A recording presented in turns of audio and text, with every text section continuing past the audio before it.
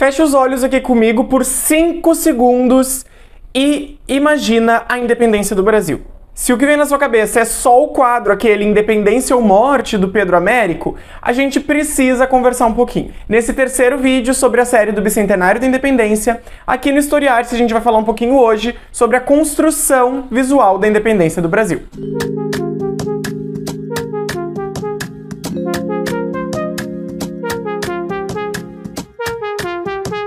Nos últimos dois vídeos, nós explicamos e questionamos um pouquinho os motivos pelos quais o 7 de setembro foi escolhido como a data oficial da independência do Brasil. A escolha dessa data foi focada na figura do Dom Pedro I, que foi eleito numa certa narrativa como o herói nacional e libertador do Brasil. Ao mesmo tempo, por ser uma escolha, esse movimento deixou de lado uma série de sujeitos e indivíduos que foram atuantes e importantes no processo de emancipação política do Brasil. No segundo vídeo dessa playlist, por exemplo, a gente falou sobre a participação das mulheres na independência do Brasil e percebam que elas são com frequência colocadas às margens da narrativa oficial e aos poucos vão sendo apagadas e esquecidas. Vejam, por exemplo, essa imagem publicada no jornal Gazeta de Notícias em 1922, em comemoração do centenário da independência do Brasil. Dom Pedro I ocupa um lugar central, rodeado de estrelas, e outros personagens são deixados um pouco de lado ou às margens já nessa imagem. Percebam, por exemplo, o José Bonifácio, que está no topo direito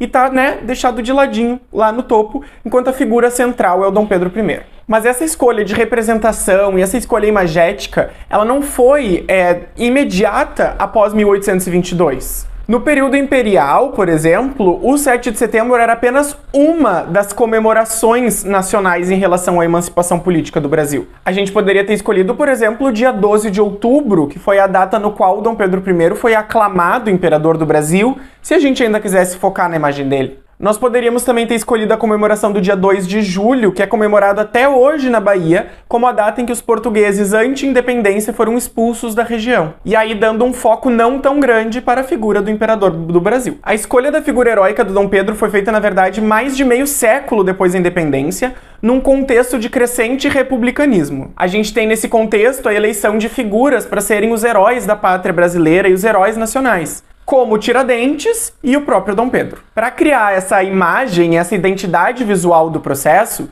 foram usados pinturas, esculturas e até arquitetura desde o período imperial até o período pós-imperial, né, que é o nosso período republicano, para consolidar essa imagem. Vamos olhar nesse vídeo de forma atenta para quatro delas. A primeira é o quadro Proclamação da Independência, pintada pelo René Murrault em 1844, ou seja, 22 anos depois da proclamação da independência oficial. Percebam nessa narrativa uma visão acerca da proclamação da República, em que Dom Pedro I teria brandido a tal frase independência ou morte às margens do rio Ipiranga e não só com apoio popular, como também com aclamação popular como se ele fosse de fato um herói do povo brasileiro. Aclamação similar à figura do Dom Pedro pode ser vista na construção da Praça Tiradentes, que foi feita no aniversário de 40 anos da proclamação da independência. Dom Pedro está no topo, no seu cavalo heróico, e nas mãos ele tem o quê?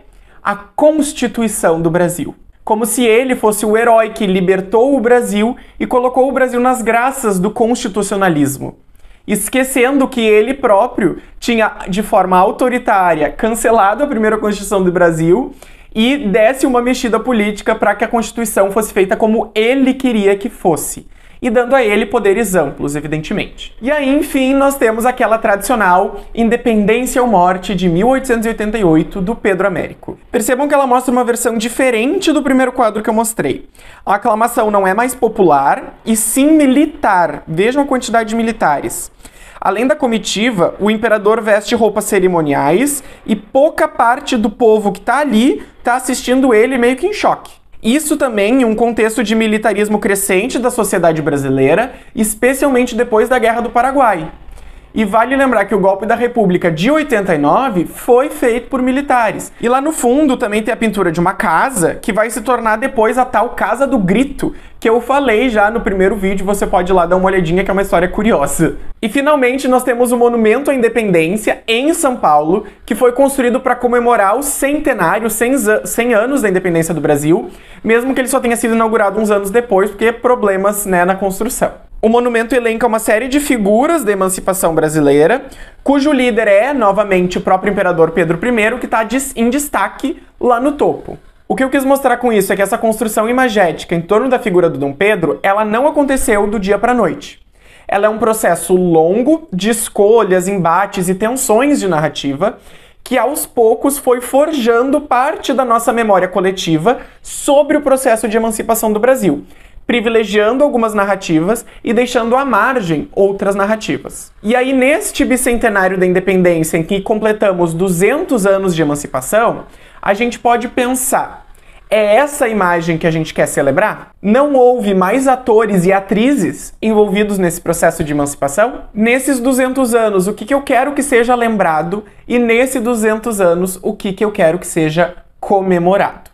Bom, pessoal, foi esse o vídeo. Espero que vocês tenham gostado. Caso vocês tenham gostado, dê um like para ajudar na divulgação. Comentem aqui embaixo o que vocês acharam. Espero que vocês tenham gostado. Até o próximo e tchau, tchau.